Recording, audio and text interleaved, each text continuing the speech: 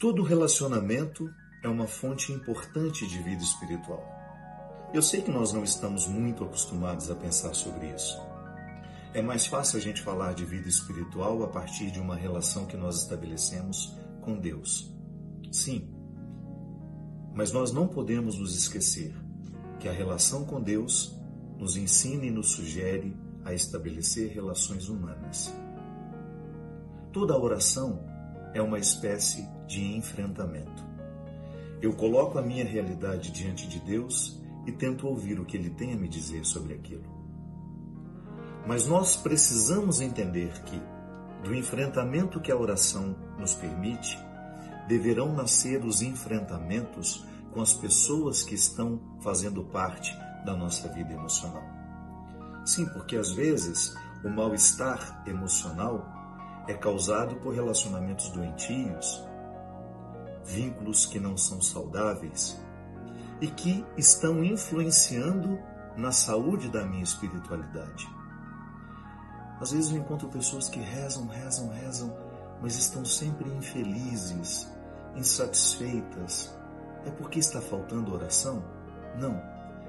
É que está faltando o segundo passo da oração, que é mudar muitas vezes a regra do jogo, reposicionar as pessoas, ter coragem de dizer não àquilo que nos afeta e que nos causa um prejuízo além do que é justo, porque toda relação, toda relação humana comporta prejuízos e vantagens. Mas quando um, uma relação está me causando somente prejuízo, eu preciso revê-lo. E tudo isso é espiritualidade. As pessoas que compõem a nossa ambiência afetiva, emocional, essas que nos influenciam, que de alguma forma participam na construção da nossa vida, todas essas pessoas precisam ser diariamente enfrentadas ainda que não concretamente, mas pelo menos no entendimento e na reflexão. Qual é o papel dessas pessoas na minha vida? Essas pessoas estão favoráveis ao meu crescimento espiritual, à minha evolução humana, ou estão sendo obstáculo? O enfrentamento é justamente o momento em que a gente reposiciona, em que a gente diz o que precisa ser dito e também ouve o que precisa ser ouvido. Pense um pouco mais na importância dos seus vínculos, dos seus relacionamentos na sua vida espiritual.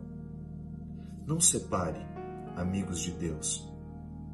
Não separe família de Deus. Faz tudo parte. Tudo está junto.